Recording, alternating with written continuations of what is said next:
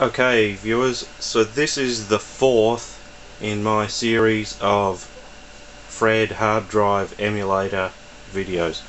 So we've got here a Model 4P and a FreHD unit sitting up here on top of it. You can just see its little lights there. Uh, what this video is going to show is that from a Model 4P which has an auto boot um, capability to boot from hard drives that it works with the FreHD unit. So we've got our 4P here with no discs in it, empty drives. Uh, it's just a um, standard 4P gate array, standard ROM. I'll show you it running. So we've got our uh, FreHD switched on. I'll just power up the 4P. I'm not pressing any keys or anything and off it goes into LS-DOS. Put in today's date. Um, 2013. Time I won't worry about. So off we go. So that's LS-DOS. This is probably the most popular operating system for the 4P. Running. Yep. Press reset.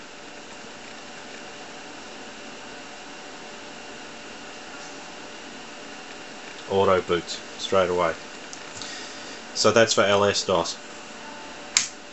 I'm going to show CP/M now, also auto booting. So we will eject our um, LS-DOS SD card image, put in the CP/M one. Wait for its little flash. There it is. Power up our 4P. And there we are. Montezuma CP/M 2.2 auto boot from the FreHD unit.